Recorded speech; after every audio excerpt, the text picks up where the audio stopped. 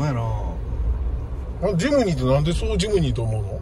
このあのなんちゅうやろボンネットの動き方が。あああのボヨンボヨンすんないや。いやーボヨンボヨンじゃないな。なんやろな。へえ。分からん乗っとったやわんあれを。せや僕運転してへんからなその頃ああすごいねそんなにレスポンス気にならへんやろアクセル。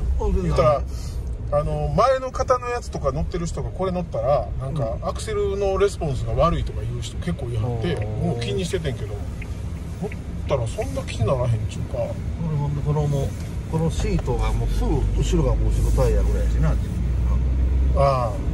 もう真ん中とこだろ？いやもうもっともうもうすぐ背中が後ろタイヤぐらいやしな。今のフルメス長なってるのかどうか知らんタイヤとタイヤの間より頭は後ろ来とんねこれ。あのカタログとか見てたら。ああ。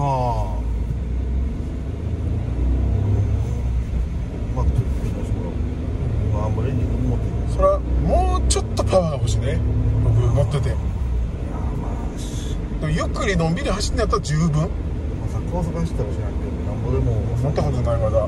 ETC 全然来ません。ああ言うてたなお前。なんぼでもパワーなかった方がええもんなそやな。まだ行き直してもらおうわ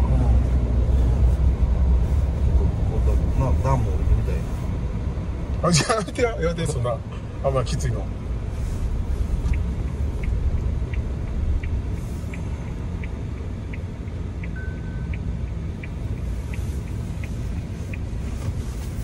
ハンドルこれもうえオプションで変えたんちゃうの？ちゃう。もううん。ノーマルハンドルカバーつけたよちょっとことお来たこっちはこっちはこっちは手前か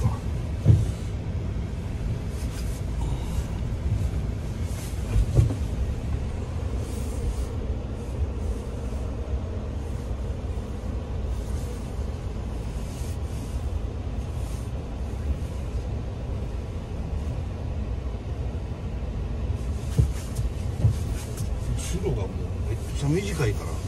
全然切りすぎてまうわこんはないないない大丈夫。OK これバックドアがすごい開くからな。後ろだいぶ開けへんかった。開きらへんねん。